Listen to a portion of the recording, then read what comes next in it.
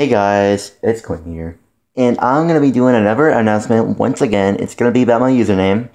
So I'm going to tell you what my new username is going to be. And um, I'll count to 10 like 10, 9, 8, 7, 6, 5, 4, 3, 2, 1.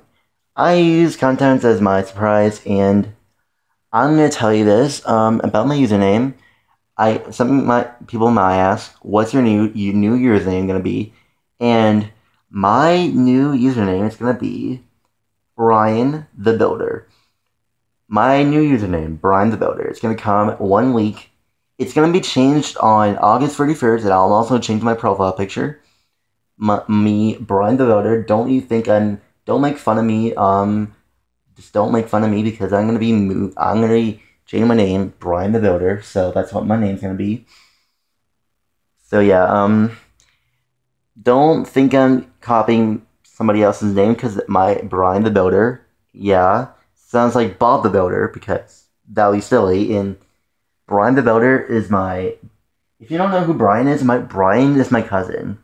Brian is my uncle. Yeah, my uncle's name is Brian. If you didn't, if you guys didn't know. So, um, thank you guys for watching, and for a chance to get a shout out, comment down below.